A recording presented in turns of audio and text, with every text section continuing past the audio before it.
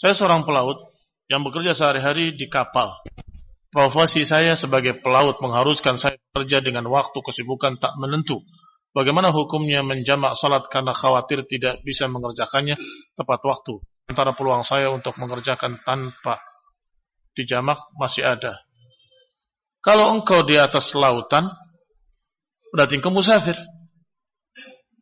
Ketika engkau musafir, engkau memiliki kemudahan-kemudahan dari Allah Subhanahu wa taala untuk mengkosor salatnya dan menjamak. Kosor ditekankan. Bahkan yudani bihil wujub.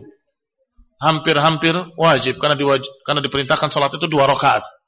Zida fil hadar ditambah ketika mukim dan menjadi kembali asal lagi ketika safar.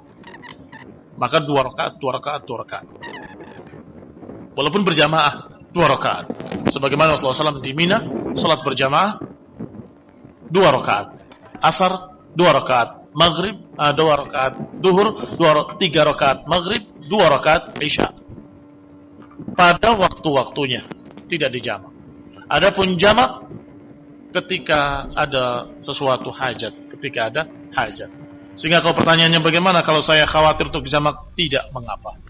Walhamdulillah.